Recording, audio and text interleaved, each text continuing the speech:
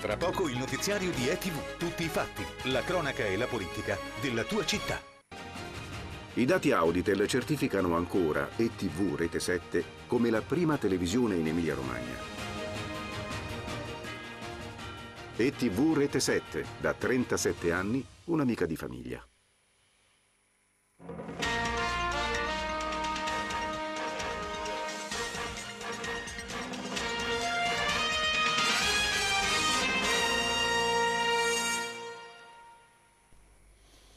Buongiorno, buongiorno e benvenuti a questo appuntamento con l'informazione di ETG Bologna. In apertura la cronaca, come vi abbiamo già anticipato nel nostro notiziario di ieri sera, c'è stato un altro episodio di violenza in zona universitaria. Un trentenne ha riportato la frattura della mascella in seguito ad una rissa, ma vediamo. Un trentenne italiano aggredito vicino a Piazza Aldrovandi sabato notte intorno alle 23.30.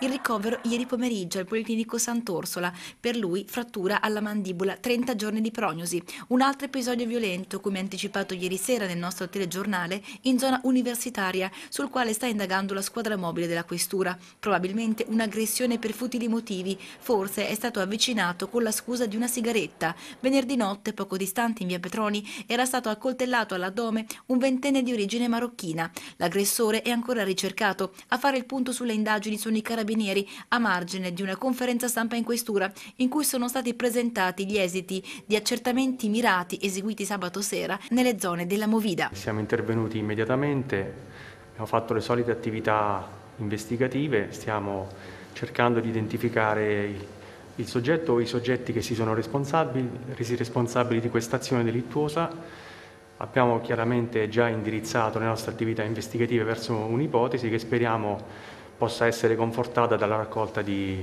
di elementi di prova che ci possano consentire di identificare e capire anche quello che è successo. Polizia, Carabinieri, Guardia di Finanza e Polizia Locale hanno partecipato al maxi controllo. 465 le persone identificate e controllate, 195 gli accertamenti sui Green Pass. Controllate anche le attività. Chiuso un circolo in via Capo di Lucca per un assembramento di persone e anche un negozio in zona Pratello aperto oltre l'ora stabilita. Sequestrate 80 bottiglie di birra da un venditore abusivo e una cassa Bluetooth dalla quale veniva riprodotta musica a tutto volume in strada. Un impegno di squadra che ha visto eh, in campo parecchi uomini delle forze di polizia e della polizia locale che ha dato i risultati secondo me giusti e opportuni visto che c'è stata c'è stato un controllo di numerose persone, di attività commerciali, sono state anche svolte delle attività di polizia amministrativa finalizzate alla chiusura di locali e in particolare di un circolo privato in una zona più volte segnalato dagli utenti e comunque dai residenti e poi un'attività um, che ha tolto di mezzo una, un diffusore acustico, insomma tutta una serie di, di, attività di polizia e di prevenzione che servono secondo me a garantire quelle, quel vivere quieto tra i ragazzi che vogliono passare la serata del sabato nel centro storico della città. I fenomeni vanno sempre governati, eh, l'impegno c'è, l'attività si svolge, è chiaro, è, è un impegno non da poco perché è un'attività che impegna tantissimi uomini e tantissimo tempo, però eh, l'attività di prevenzione è fondamentale nei fenomeni sociali di questo tipo.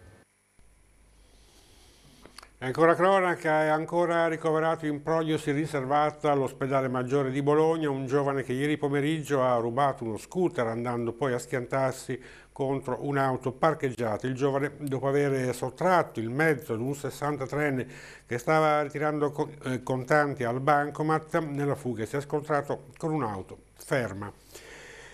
Ultima pagina, cambiamo argomento. Sul fronte del caro energia c'è unità di intenti tra il sindaco di Bologna, Matteo Lepore, e i parlamentari eletti nel nostro territorio. Si parla di azioni comuni per sensibilizzare il governo sul sostegno agli enti locali, alle famiglie, alle imprese, al terzo settore. Vediamo. Non si ferma l'iniziativa del sindaco Lepore, per quanto è nelle sue mani, per dare voce alle preoccupazioni dell'amministrazione locale ma anche dei cittadini e imprese per il caro bollette. Questa mattina il primo cittadino di Bologna e della città metropolitana ha incontrato i parlamentari eletti nel territorio bolognese per presentare le richieste che giovedì della scorsa settimana hanno spinto circa 3.000 sindaci in tutta Italia a spegnere simbolicamente le luci dei monumenti più rappresentativi per sensibilizzare il governo sul caro bollette e in particolare per sottolineare le pesanti ripercussioni su enti locali, famiglie e imprese. All'incontro di questa mattina erano presenti i parlamentari Andrea De Maria, Francesco Cretelli e Daniele Manca per il Partito Democratico, Galeazzo Bignami di Fratelli d'Italia e Michela Montevecchi per il Movimento 5 Stelle. Un incontro molto proficuo, ha detto al termine il sindaco Lepore, nel corso del quale è stata condivisa la richiesta al governo di un fondo per sostenere l'impatto dell'aumento dei costi dell'energia sugli enti locali, anche al fine di scongiurare il conseguente riverbero su famiglie e imprese, così come la proposta di utilizzare i comuni come soggetto gestore di parte delle risorse da destinare immediatamente alle fasce più fragili della cittadinanza per sostenere l'impennata dei costi dell'energia sul modello dei buoni spesa. Lo stesso meccanismo, aggiunge Lepore, dovrebbe essere pensato anche per il mondo del terzo settore, così importante per la nostra comunità. Il sindaco e i parlamentari hanno anche condiviso l'urgenza di un intervento del governo per evitare che il costo dell'energia e l'inflazione portino al fallimento di diverse piccole e medie imprese del territorio, allo stop delle attività di molte associazioni che si occupano del bene comune e a disagi insostenibili per le famiglie in difficoltà. È stata infine condivisa la costituzione di un tavolo permanente tra il sindaco metropolitano e i parlamentari eletti nel territorio, non solo per affrontare l'emergenza della crisi energetica, ma anche per condividere questioni più strategiche e la messa a terra del PNRR. Dopo l'incontro di questa mattina il tavolo sarà convocato periodicamente. E si è parlato di effetti a lungo termine del Covid questa mattina all'ospedale Maggiore. Vediamo cosa si è detto. L'esperienza di questo ambulatorio nasce in realtà dalla richiesta dei cittadini, eh, cittadini che hanno avuto una degenza nei nostri reparti intensivi di una settimana o più, quindi degenze diciamo per malattie sicuramente gravi, per forme sicuramente gravi di Covid. E la loro esigenza nasce dal fatto di eh, eh, soffrire appunto di disturbi a lungo termine derivanti da questa grave patologia, disturbi di carattere respiratorio, eh, di carattere eh, fisiatico e riabilitativo e anche di carattere eh, psicologico. Per cui l'idea è stata quella di provare a eh, inventarci e a fondare un ambulatorio che potesse dare una risposta unica a queste persone eh, evitando il giro fra più specialisti. Cerchiamo noi questi pazienti e chiediamo a loro l'esigenza e la disponibilità ad entrare in questo percorso. Fissiamo un appuntamento e eh, li vediamo in maniera congiunta. Eh, cioè in queste visite sono presenti contemporaneamente più specialisti, in particolare è presente il fisiatra, lo pneumologo, lo psicologo e l'anestesista rianimatore. L'età media direi fra i 60 e i 70 anni circa. È molto interessante perché mh, riscontriamo quelli che sono i dati della letteratura, quindi delle pubblicazioni che sono già eh, state eh, analizzate, che quindi circa il 40% dei pazienti a distanza di tempo, a distanza di mesi, presentano degli esiti neurologici eh, che vanno dal lieve anche al molto disabilitante, cioè quindi l'impossibilità anche a camminare ed essere autonomi nella vita quotidiana. Lo spettro di ehm, pazienti e di esiti sono vari, dal paziente che ha un deficit nel cammino perché non riesce ad attivare determinati gruppi muscolari, eh, alla fragilità per esempio anche nella, mh, nelle attività della vita quotidiana, quindi l'alzarsi, il vestirsi, eh, diventa un problema nella quotidianità perché fatica, eh, stanchezza, difficoltà di concentrazione, sono degli elementi comuni che emergono dalle valutazioni che stiamo portando avanti. Ultima pagina, cambiamo decisamente argomento, 14 febbraio, oggi festa degli innamorati, noi siamo andati a vedere come i bolognesi passano questa ricorrenza. Amor canullo amato, amar perdona, è il canto quinto dell'inferno riferito alle figure degli amanti per eccellenza, Paolo e Francesca, coloro che hanno amato tanto in vita fino alla morte, uccisi dal cornuto Gianciotto Malateste che continuano ad amare anche nell'aldilà, nel girone purtroppo dei peccatori carnali o lussuriosi sui socials, diremmo porcelloni, per dire che comunque il giorno di San Valentino, il giorno degli innamorati per eccellenza, in qualche modo può essere una festa ma anche fonte di problemi infernali, cioè bisogna in qualche modo fare qualcosa. Per esempio la signora sta sfogliando il giornale per vedere dove c'è del bello questa sera. No, grazie, no, del bello no. Io sono, sono qua che sto aspettando mio marito che è andato dal dentista. Ma... Valentino, vado a cena con una donna. Il signore va a cena con una donna, tu invece stai... Ah, io vado col pennello. Col pennello? Col pennello, sì. Ceni col pennello? No, spero di no. Ah, cioè adesso va, ci dai di pennello, però... Di pennello, poi dopo stasera speriamo di andare. C'è chi ci dà di pennello, chi come lei invece di spatola, però, cioè sta spatolando? no, guardi, vabbè, siamo a posto così, va bene. Per San Valentino, che cosa facciamo? Tanti auguri a Tanti tutti innamorati. Beh, qua- ok. Per San Valentino che cosa fa? C'è la borsa? Lavoro. Sta, ah, ok. Sta scappando in Svizzera? C'è l'amore, c'è ogni giorno, allora ogni giorno è San Valentino. Ma state assieme, no? No, no, no. Ah, no. no, beh, vabbè, No, perché- sono, sono antiche. no. No, perché no? Non si chiama Drusillo lui. Ah, ok. C'è qualcuno che il giorno di San Valentino è venuto a ordinare l'abito da sposa? Oggi ci stanno chiamando in tante, perciò Proprio? sì, Beh, si vede bello. che l'amore comunque ha smosso qualcosa. Esatto. Le tre grazie, grazie Graziella e grazie a San Valentino che tutte e tre stanno, sono qui che stanno diciamo in qualche modo a umma umma per organizzare un San Valentino con i fiocchi, con i loro fidanzati. Perché non avete, ne- non avete un cane con cui no? Il cane sì. Un paccone perché non è roba per San Valentino? No. E per cos'è? Per cavoli miei. Non vorrei che accadesse che dopo si deve limonare magari con qualcuno alla fine della serata. Ah, ma che- uno si accontenta per una sera, Chi se c'è, c'è chi c'è c'è, esatto, vero? Grazie. Questi due ragazzi soli stanno cercando appunto, stanno scorrendo eh, come dei siti di annunci per vedere se andare a sera si cucca qualcosa perché diciamo li accomuna la disperazione. Appena arrivati però, siamo appena arrivati a Bologna. Fiori, mamma mia! Ma chi li... Beh, per San Valentino? Che mazzoni! Io li porto solo. Ah, ok, Amb- ambasciatore non porta fiori ma non pene.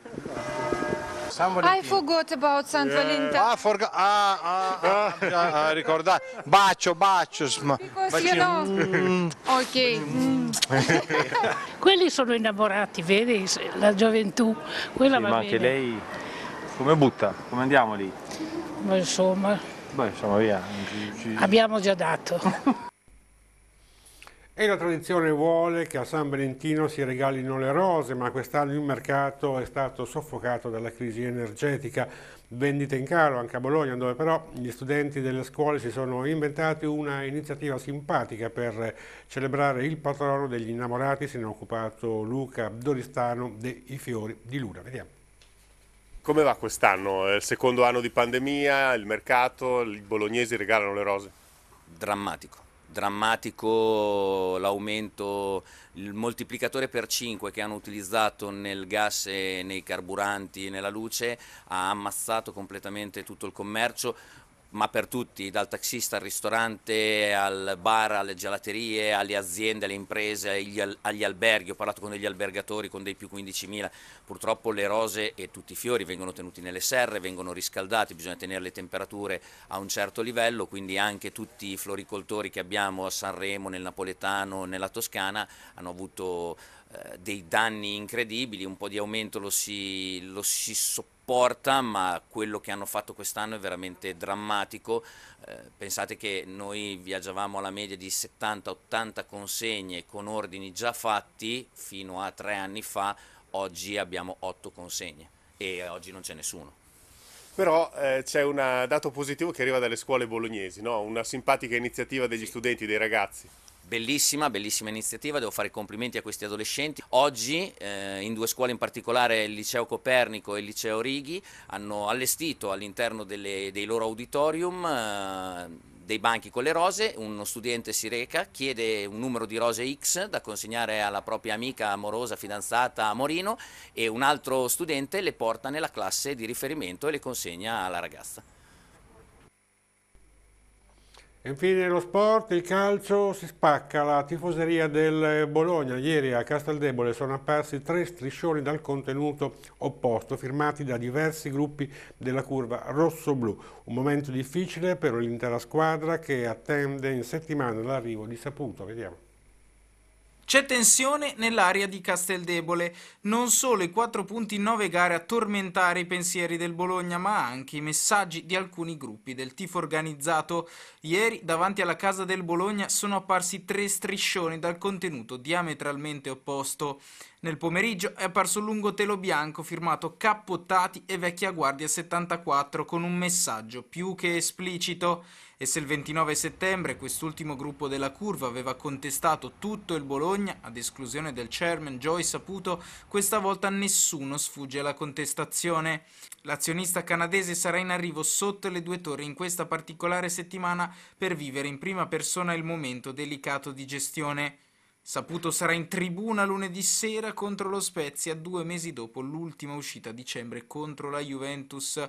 Accanto al telo più grande, anche il centro Bologna Clubs ha firmato un messaggio: Svegliatevi tutti, recita il lenzuolo a conferma del fatto che da questa prima contestazione il bersaglio fosse il Bologna dalla A alla Z.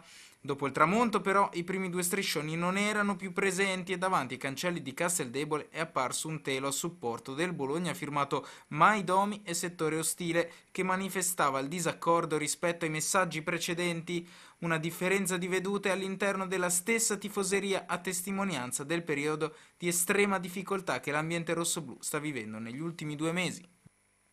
Ed è tutto, appuntamento alle prossime edizioni del nostro telegiornale, buon pomeriggio a tutti.